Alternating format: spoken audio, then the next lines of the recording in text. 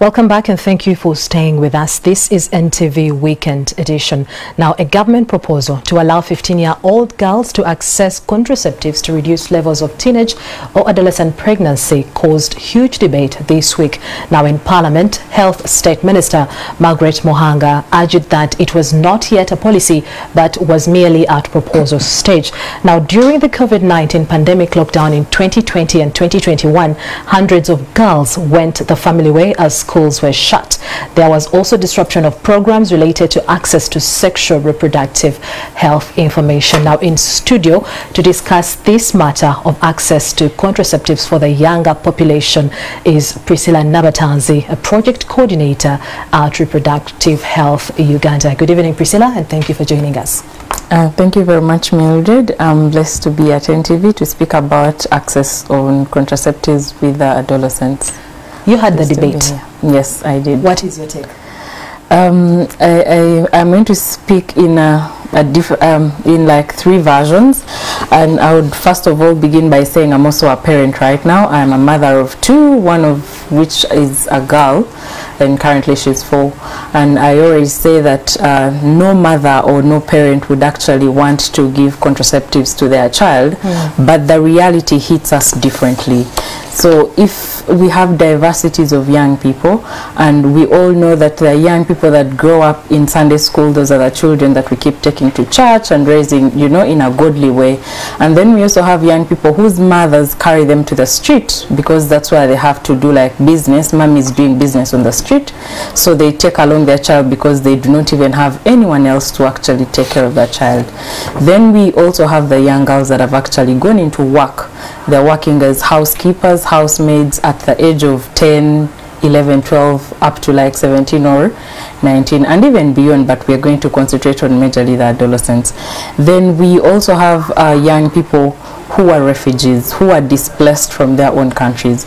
So with all that diversity between young people, we as Reproductive Health Uganda, we think making uh, or creating favorable spaces, favorable health facilities, favorable policies that can help the young people access services. And the services to this note that we're speaking about is the family planning. Can every girl have an option? And yes, people want to also speak about the condoms, but condoms come in as a second option. As a girl, I might have a female condom, but it might be very hard for me to actually access those condoms because they're very, um, they're very unavailable on the market, unlike the male condoms. So you realize that people speaking about access to condoms or having them take condoms, you're speaking to the boy child who is not the victim here because but as the perpetrators. they are the perpetrators but I mean I am the girl who is supposed to carry this pregnancy that I'm actually not prepared for mentally physically. In all aspects I am not prepared to be a mother at 15 years. So are you saying that it is okay for the 15 year old girls to be given contraceptives I, am going to say that at Reproductive Health Uganda, we run 19 clinics in different regions of this country.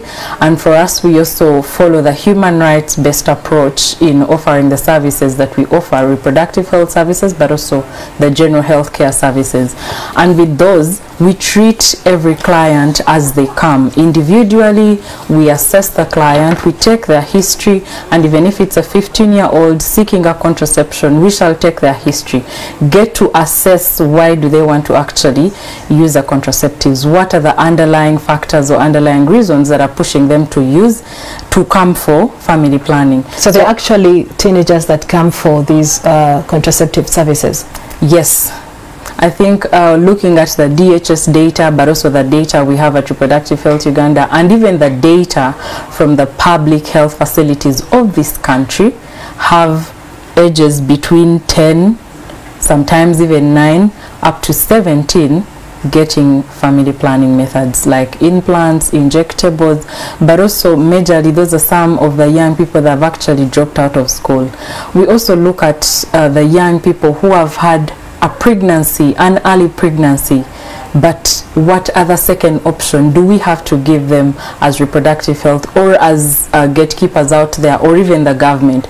Because at that level the minister of education says it's okay you've gotten pregnant you're free to go back to school. But then it doesn't mean that that person is not going to be sexually active anymore.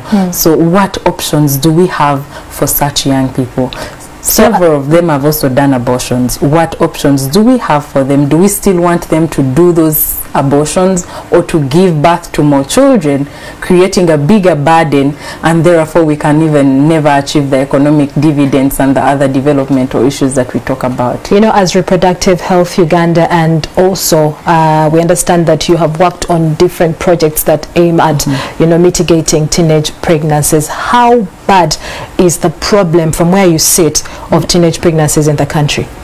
I think I'm going to uh, first of all begin with some of the districts currently that we are uh, having programs with. We have uh, We Lead program in districts like Amuru, and while we were there, I think three weeks ago, um, the maternal health, um, she's the senior maternal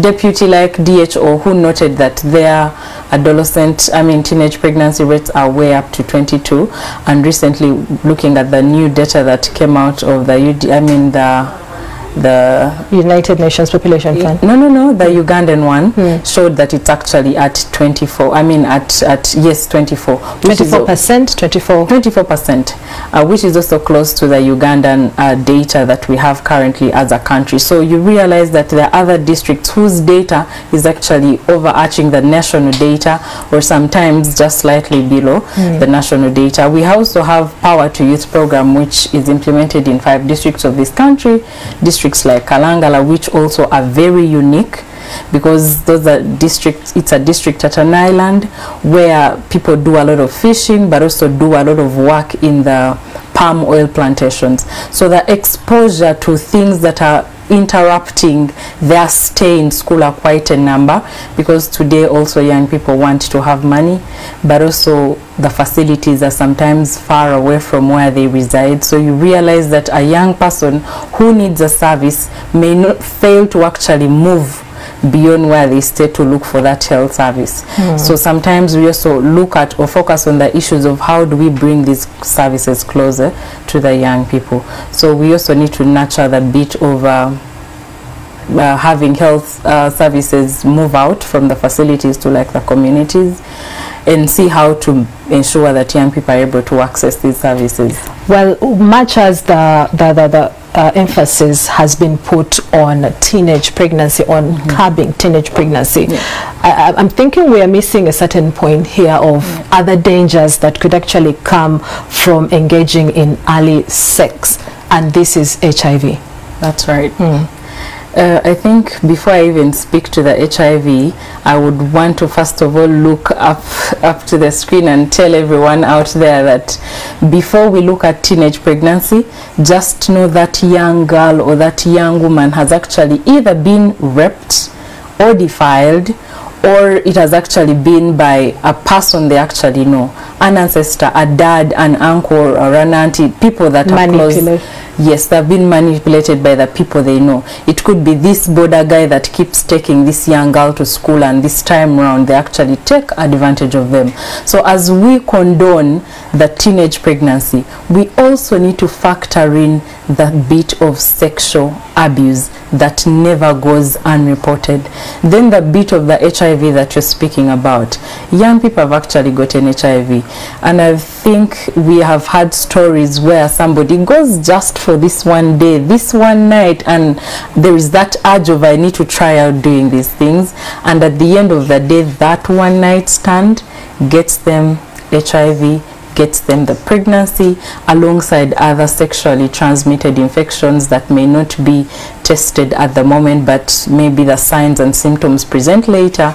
And those are also going along with the HIV and that becomes a serious issue for young people. And for us we're saying a condom could also be another option in that regard to actually curb down the HIV rates. However information is the best. Hmm. If we can offer information to the young people. Let it be age appropriate information. How much knowledge are you going to share with a four year old girl or boy? How much information are you sharing with a teenager who is becoming a topic of the nation today? How much are you sharing with someone who is joining university and even who is already at university? We've had engagements with university students on the World Contraception Day, and most of them shared their dissatisfaction with the different caretakers behind them where they have to they noted that if we had gotten some of this information before we wouldn't have messed up ourselves because some of them were speaking from experiences where they've had uh, abortions that sometimes ended up into losing their lives mm. sometimes some of them have actually taken on the methods because one of them I remember noted that some of you are calling yourselves first wives forgetting that there is another wife out there and then for you're still calling yourself a first wife so she urged to mm. the others to actually use condoms just other than going plainly like that yeah you talked of caretakers and uh, here uh, here i get the sense that the parents also come in yes. they also play a big role in actually sharing some of this sex education or information yes. to their children we actually don't call it sex education because this country, uh, a number of people miss would actually misquote you on that and think that you're going to specifically speak about sex. Um, so for us, we call it sexuality education, and we are happy that the Ministry of uh, Education finally uh, launched through the First Lady 2018 they launched the National Sexuality Education Framework, which stipulates everything that is supposed to be given to the different young people, age-appropriate information from age three.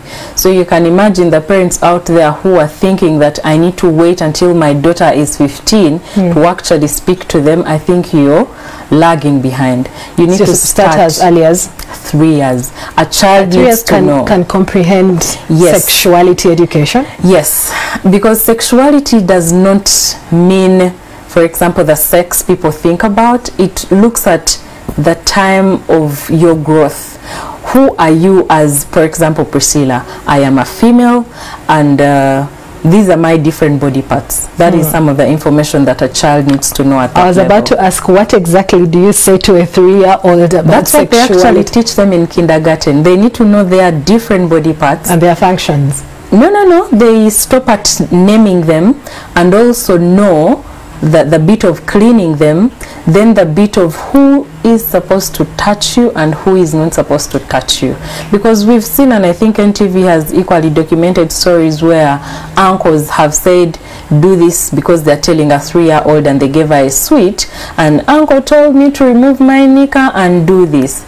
So for us, we are saying, uncle should never tell you that. And even if they do that, you say, no, mommy said, I'm not supposed to do that with you. So that is the sexuality education that we want everyone out there to actually comprehend, not looking at the smaller aspects of it. Sex, the sex bits come late, much later. later on. Yes. Now, looking at the controversy that is actually rotating this uh, discussion mm. is the fact that allowing the girls, uh, the 15-year-olds and uh, the adolescents to access contraceptives is sort of giving them a leeway to actually go and engage in sexual activities? I think for me that is not right and even where we stand at RHU we think that is not right because uh, by, if the government says yeah I mean it puts a policy that says let's have contraceptives for young people uh, from the age of 15 we shouldn't forget that at 15 somebody can actually conceive we shouldn't forget that Uganda's sexual debut for the girls is around 16 and 15 and 16 is almost, you know, very close. And then for the boys is also around 17. So you realize that a girl actually grows up earlier or grows very fast as compared to, to the girl. So for us we're saying contraceptives being given to these people will not mean that they are going to be taken to schools they're going to be in the market on the streets being sold and people are being called on to like buy the way people stop and say can I have PK here no it will be this young girl that will actually need the service, that will actually walk, because they know it's okay for me to actually access this particular method to ensure that I become a better person or I stay in school and become a better person. So we all, all of us want the abstinence, but how about the young people that have failed to abstain not because they actually want, but because they live with the abusers We've seen stories where girls have actually been abused by their own fathers. Would you want to give birth to your own fathers? How would your you? sister, your siblings. I don't even know if that would be your sister. I mean, it doesn't sound nice. It doesn't feel good. And for us in Uganda, based on our culture, it, it I mean, it's not the best. So, and we are saying that shouldn't happen. Give me the information. Let me know it. Giving somebody information doesn't mean they're actually going to uh, go and, and have sex. I got the information. I didn't engage into sex until I was, you know, at, at university. And even when I was uni- at university, I was very calculative to say, Mm-mm, I don't want to be my mother's bad girl. Okay, clearly from what you have stated, uh, abstinence alone cannot actually help to, cannot be that solution to uh, teenage pregnancies. What more, as we get to wrap up this conversation, what more needs to be done to see that teenage pregnancies or adolescent pregnancies is actually curbed? Uh, for me, I would love to say that if we need to curb teenage pregnancy for this country, we need to allow the contraceptives for these young people and let us give them information. Let them know that the information is, is, is there. Let them know that the service is actually there. Let them know that they're not going to be judged or stigmatized for only protecting themselves from plans that they are not ready for. Thank you, Priscilla Nabatanzi, for making time to speak to us. She is a project coordinator at Reproductive Health Uganda. And with that, we take a short break and return with news from the world of sport.